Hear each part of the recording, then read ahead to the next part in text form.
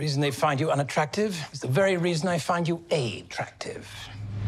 We're getting a first look at Guy Ritchie's The Ministry of Ungentlemanly Warfare starring Henry Cavill. The World War II drama is inspired by recently declassified files of the British War Department, which told of a secret band of military officials formed by Prime Minister Winston Churchill. The description for the film reads in part The top secret combat unit, composed of a motley crew of rogues and mavericks, goes on a daring mission against the Nazis using entirely unconventional and utterly ungentlemanly fighting techniques. The project reunites Ritchie and Cavill, who previously teamed up for 2015's The Man from Uncle.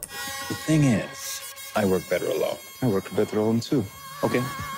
I'll let you tag along. Ministry also stars Eiza Gonzalez, Alan Ritchson, Alex Pettyfer, Henry Golding, and more, and arrives in theaters April 19th.